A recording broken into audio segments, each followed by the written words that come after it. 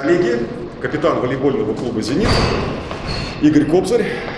Игорь, э, безусловно, не просто играть э, в матч, в котором вы оказались на площадке таким составом, э, которым, возможно, больше просто команда на площадку не выйдет никогда. Что ты скажешь об этом достаточно специфическом вечере?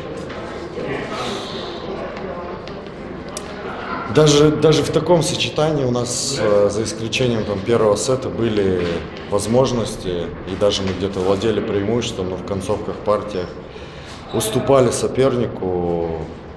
Знаю, что Сербия приехала сюда дня за три, за четыре даже до матча. Видно, что хорошо они подготовились.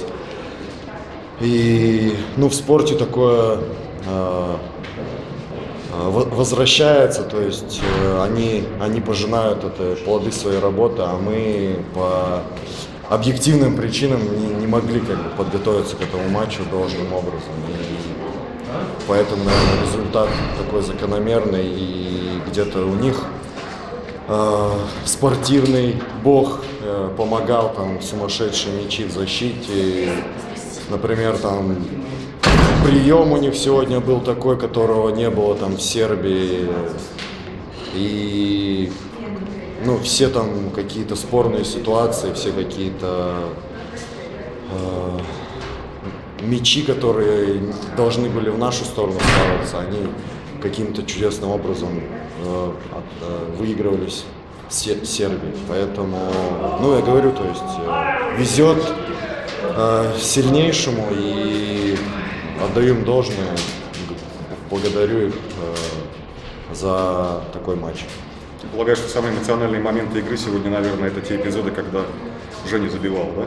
Согласишься? Ну, конечно, ну, мы все радовались, особенно когда, да, Женя забивал, то есть непривычная для него позиция, и он большой молодец. То, что от него требовалось сегодня, он точно выполнил на все сто процентов. И... Ну, да, наверное, сочетания такого не увидим больше. Но, говорю, можно из этого поражения можно все равно вынести какие-то позитивные моменты. И думаю, что хорошо, что этот матч в любом случае состоялся и прошел, да, неудачно, но это, мне кажется, сделает нас сильнее. Спасибо, я тоже на это надеюсь, и надеюсь, что в конце сезона мы это запомним как забавный эпизод. Коллеги, вопросы? Скажите, вот в таком необычном составе, то есть у ребят необычные роли, у Жени, у Тины, а насколько сложно находить свою игру уже в процессе на площадке? Ну, так скажем, вот первую партию мы как раз вот что там пытались находить, потом вроде вторую, третью нашли. То есть, ну, не так просто.